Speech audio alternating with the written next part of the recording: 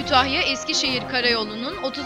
kilometresinde iki yolcu otobüsü, bir minibüs, bir kamyonet ve bir otomobilin karıştığı zincirleme trafik kazası meydana geldi.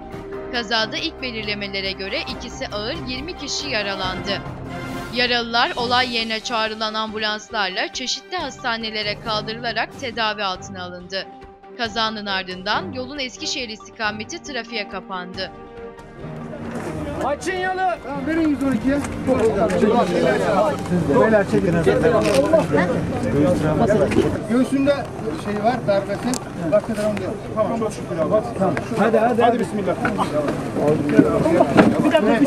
Yavaş yavaş yavaş. Alan abi. Yerler çok bozuk. Burası kaygan. Burası kaygan beyler bak dikkat edin yol.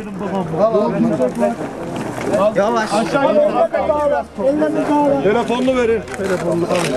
Ambulans hangisi? İleride abi bak. İleri düz devam et. Acele yok. Sakin. Dengeli bir şekilde. Artık çıktı. Sakin bir şekilde. Tamam tamam tamam burası. Hadi devam edin. Başını mı? Başını tarafa, başını tarafa. Yan kapıya alsana yan darbesi. Sağ sol yürüyün. Söylemesine gerek yok. Bas.